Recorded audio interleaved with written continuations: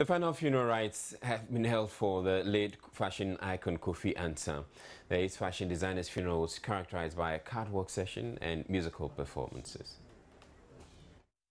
It was a moment of pain for the family, friends, fashionistas, and well-wishers of the late Kofi Ansah. The gathering was at the forecourt of the State House, where everyone got the chance to pay their last respect for their fashion icon.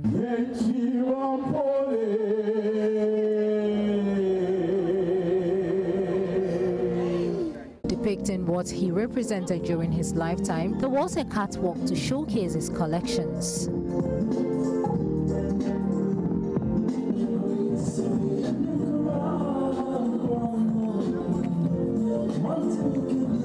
Some loved ones shared fond memories of the late Kofi Ansah. When I decided to um, establish 1957, he's one of the first people I told, and he was like, "Can you do this?" He's always known me as an artist, but his biggest problem was my choice of name for my clothing line 1957 because in his opinion it represents something very major beyond any single individual in ghana it's actually beyond ghana it represents liberation for the entire black race and that's how deep kofi ansah thinks I'd remember Kofi, uh, apart from his great sense of humor and wit and intelligence, uh, he was he was like a teacher. He was more of a headmaster.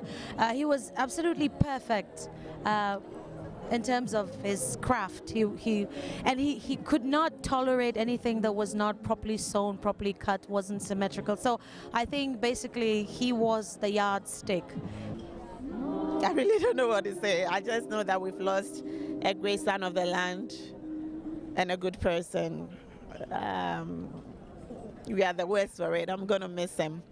But uh, it also tells us that we should number our days and uh, we should love each other and there should be peace everywhere because you never know where you're going. Ansah was a very generous person. Uh, he was very friendly, easily approached. Uh, and of course, we all know of his creative genius uh, and the fact that uh, he has left behind such a legacy of his works. It's itself a testimony to the fact that long after a person has gone, he can survive through his work.